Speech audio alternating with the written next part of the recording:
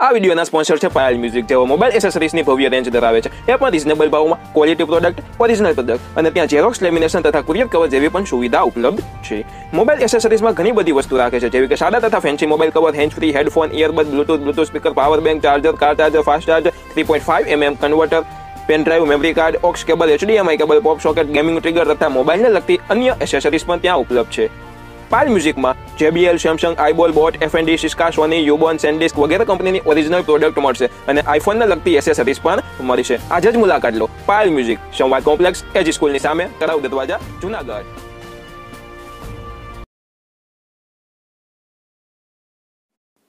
નમસ્કાર. વામજા એજ્યુકેશનમાં આપ સૌનું હાર્દિક સ્વાગત છે.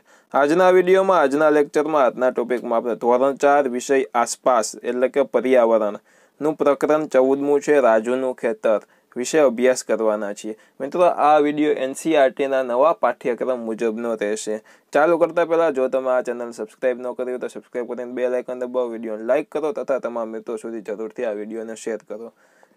ચાલો ચાલુ કરીએ ધોરણ ચાર વિષય આસપાસ એટલે કે પર્યાવરણનું પ્રકરણ ચૌદમું. રાજુનું ખેતર. મિત્રો, અહીં આકૃતિમાં આપણને ખેતર દર્શાવ્યું છે. અને આ ભાઈ કુહાડી લઈ અને આ ખોદે છે ખેતરમાં. મિત્રો તમે ખેતર જોયું છે કે નહીં? જો જોયું હોય તો તમે મને કોમેન્ટ બોક્સમાં જરૂરથી કોમેન્ટ કરીને જણાવજો. તમારે ખેતર છે કે નહીં? હોય તોય તમે મને કોમેન્ટ બોક્સમાં કોમેન્ટ જરૂરથી કરી દેજો. ચાલો જોઈ લઈ હવે પાઠ. હું રાજુ છું. મારા પિતા ખેડૂત છે. અમે ગુજરાતના ઈડર તાલુકાના વસાઈ ગામમાં રહીએ છીએ. તો અગત્યની વસ્તુ, જિલ્લો કયો કીધો છે? સૌ પ્રથમ મિત્રો રાજ્ય કયું કીધું છે? તો ગુજરાત રાજ્ય. ના, ઈડર તાલુકો અને એમાં વસાઈ ગામ છે. જિલ્લો કીધો નથી. ગુજરાત રાજ્યના ઈડર તાલુકાના વસાઈ ગામમાં મિત્રો તેઓ રહે છે. ઓક્ટોબર મહિનો ચાલી રહ્યો છે. ઓક્ટોબર મહિનો ચાલી રહ્યો છે. દરેક વર્ષની જેમ મારા પિતાજી ડુંગળીના પાક માટે ખેતર તૈયાર કરી રહ્યા છે. દરેક વર્ષે પણ આવી રીતના ડુંગળીના પાક માટે ખેતર તૈયાર કરે, આ વર્ષે પણ તૈયાર કરી રહ્યા છે. આ સમયે ખેતરમાં ઘણા બધા કામ મિત્રો કરવાના હોય. કોઈ પણ વસ્તુ ઉગાડતા પહેલા ઘણા બધા કામ કરવાના હોય, જેમ કે ખેતર ખેડવું ને વગેરે વગેરે. પિતાજીને મદદ કરવા હું પણ ખેતરે જાઉં છું. છેલ્લા થોડા દિવસોથી પિતાજી કોદાળી વડે જમીન ખોદી રહ્યા છે, જેથી ખેતર નરમ અને પોચું બની જાય. આકૃતિમાં આપણને રાજુના પિતાજી દેખાય છે, અહીંયા હાથમાં કોદાળી છે અને તેમના વડે ખેતર ખોદી રહ્યા છે, એટલે ખેતર નરમ અને પોચું બની જાય. હવે લખ્યું શોધી કાઢો. શું શોધવાનું છે જોઈએ? તો કે રાજુના વિસ્તારમાં જમીનને નરમ બનાવવા કોદાળી નામના સાધનનો ઉપયોગ થાય છે. આ પ્રકારના સાધનને તમારા વિસ્તારમાં શું કહેવાય છે? તે તમારી નોટબુકમાં દોરો અને ચર્ચા કરો. મિત્રો, તમે કોદાળી જોઈ છે કે નહીં તે આપણને કોમેન્ટ બોક્સમાં કોમેન્ટ કરીને જણાવી દો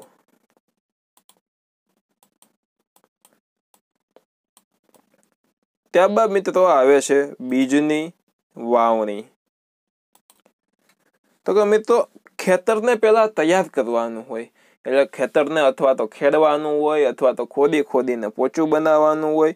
ત્યારબાદ મિત્રો બીજની વાવણી, એટલે જે વસ્તુ વાવવી હોય તેમની સૌપ્રથમ વાવણી કરવી પડે, તમને ખ્યાલ છે. આ વર્ષે મારા પિતાજી ખેતરમાં ડુંગળીના બીજ વાવશે. રાજુના જે પિતાજી છે ખેતરમાં ડુંગળીના બીજ વાવશે, બીજ એટલે કે એમના બિયારણ, દાણા વાવશે. બળદો હર ખેંચશે અને પિતાજી હર પાછળ ચાલીને ચાસમાં બીજ નાખશે. મારે પણ પિતાજીની જેમ કામ કરવું છે. મિત્રો, અહીંયા બળદ દેખાઈ રહ્યા છે. અહીંયા રાજુના પિતાજી છે, હળ છે અને ઉપર ચાસમાં અહીંયા બીજ નાખી રહ્યા છે. પરંતુ પિતાજી કહે છે કે ચોક્કસ અંતરે પૂરતા પ્રમાણમાં બીજ નાખવા ખૂબ જ જરૂરી છે. ચોક્કસ અંતરે મિત્રો, નાખવા પડે. ચોક્કસ અંતર એટલે શું? તો કે મિત્રો, અહીંયા આવી રીતના આપણે એમાં ખેતરમાં રો પાડેલી હોય, ખબર હોય તો. અહીંયા વચ્ચે બીજ વાવવાના હોય. બીજનો કલર હું અલગ કંઈક કરી નાખું, બીજ વાવવાના હોય. જો એક બીજ અહીંયા વાવ્યું પછી ચોક્કસ અંતરે જ બીજું બીજ વાવવાનું, પછી પાછું ચોક્કસ અંતરે ત્રીજું બીજ, પછી બાજુમાં. એવા એટલા જ અંતરે મિત્રો, વ્યવસ્થિત અંતરે, અલગ અલગ વ્યવસ્થિત અંતરે મિત્રો બીજ વાવવાના હોય. આમ ભેગા એક બીજ અહીંયા બીજું અહીંયા, ત્રીજું અહીંયા, ચોથું અહીંયા એવી રીતના આડા સવડા વાવવાના ન હોય. ચોક્કસ અંતરે વ્યવસ્થિત બીજ વાવવા ખૂબ જ જરૂરી છે.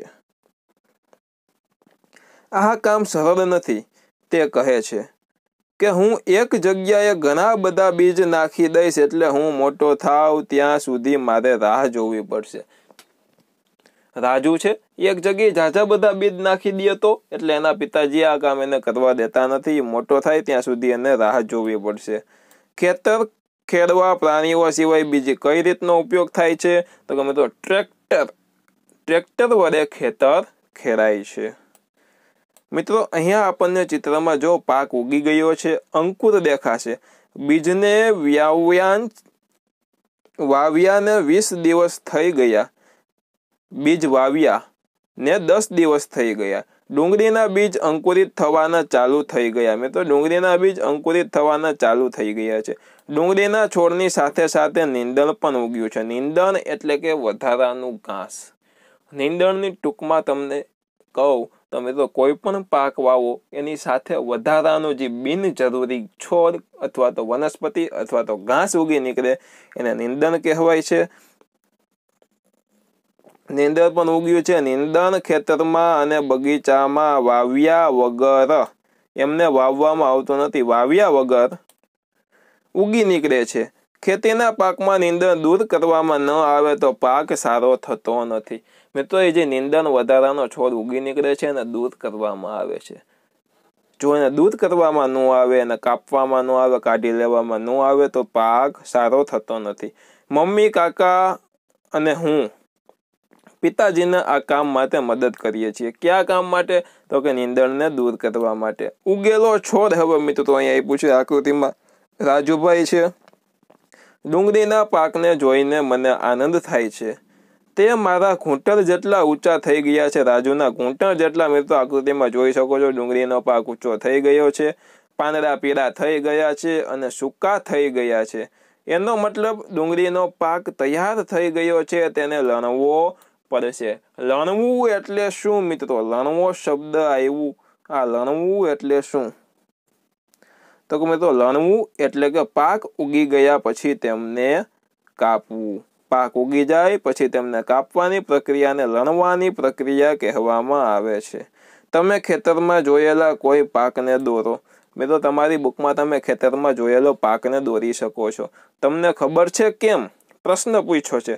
તો ઘરના દરેક કે ડુંગળીના પાકને લણવા મદદ કરવી પડશે. ઘરના દરેક સભ્યોએ ડુંગળીના પાકને લણવા માટે મદદ કરવી પડશે. તે સમયસર થવું ખૂબ જ જરૂરી છે. પાક એકવાર ઉગી તો ગયો અને લણવો ખૂબ જ જરૂરી છે. જો તમે વિલંબ કરશો તો ડુંગળીનો પાક જમીનમાં જ સડી જશે અને અમારી બધી જ મહેનત નકામી જશે. જેમાં વિલંબ કરશું અમે, એટલે વિલંબ એટલે શું? તો કે મોડું કરશું. તો ડુંગળીનો પાક જમીનમાં જ સડી જશે. એટલે ને ફટાફટ મિત્રો લણવું જરૂરી છે. અહીંયા તમે જોઈ શકો છો ઘરના દરેક સભ્યો ડુંગળીનો પાક લણે છે.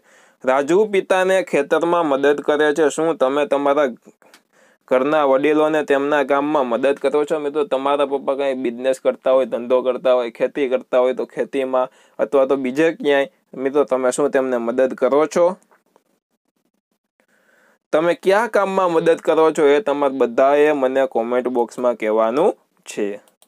મિત્રો, અહીંયા હજી એક ચિત્ર આપ્યું છે, નીચે લખેલું છે, તે હવે આપણે વાંચીએ. પહેલાં ચિત્ર જોઈ લીધું બધાએ. હવે નીચેનું વાંચીએ. ઘરમાં બધા ખુશ છે. આ વખતે ડુંગળી મોટી અને સારી છે. મમ્મી અને કાકી ડુંગળીની સુકાઈ ગયેલી ડાળી કાપવા ઇલીજ એટલે કે એક પ્રકારનું દાંતેરું જેમનું નામ છે ઇલીજ અહીંયા તમે જોઈ શકો છો. ઇલીજનો ઉપયોગ કરે છે. ઇલીજ ખૂબ જ ધારદાર હોય છે અને કાપતી વખતે તમારે આંગળીઓ કપાઈ ન જાય તેનું ધ્યાન રાખવું પડે છે. પિતાજી અને કાકા ડુંગળીના કોથળાઓ ભરે છે. પિતાજી તે ટ્રકમાં ભરી મંડી કે મોટા બજારમાં વેચવા લઈ જાય છે. ટ્રકમાં ભરી અને મંડી કે મોટા બજાર હોય ત્યાં વેચવા લઈ જશે. તમારી નોટબુકમાં તમારા અમુક પ્રશ્નો આપ્યા છે એના ઉત્તર લખો. તમને સ્વાધ્યાય પોથીમાં સ્કૂલે જરૂરથી ઉત્તર લખાવશે. મિત્રો, અહીંયા આપણો ધોરણ ચાર વિષય આસપાસ એટલે કે પર્યાવરણનો પ્રકરણ ચૌદમું, રાજુનું ખેતર પૂર્ણ થાય છે. આશા રાખું છું કે આપ સૌને ખૂબ જ મજા આવી હશે. મજા આવી તો વિડીયોને લાઇક કરી દો ચેનલને સબસ્ક્રાઇબ ન કરી હોય તો સબસ્ક્રાઇબ કરીને બે લાઇકન દબાવી દો તથા આ વિડીયોને તમારા મિત્રો સુધી જરૂરથી શેર કરો. અને મિત્રો, જો તમારા પપ્પા ખેતી કરતા હોય, તમારે ખેતર હોય, તો તમે કયો પાક વાવ્યો છે જરૂરથી કોમેન્ટ બોક્સમાં કોમેન્ટ કરીને જણાવી દો. ફરી મળશું એક નવા વીડિયો સાથે. ફરી બધા જો બબાઈ જય હિન્દ. વંદે માતરમ. આવજો. ધન્યવાદ.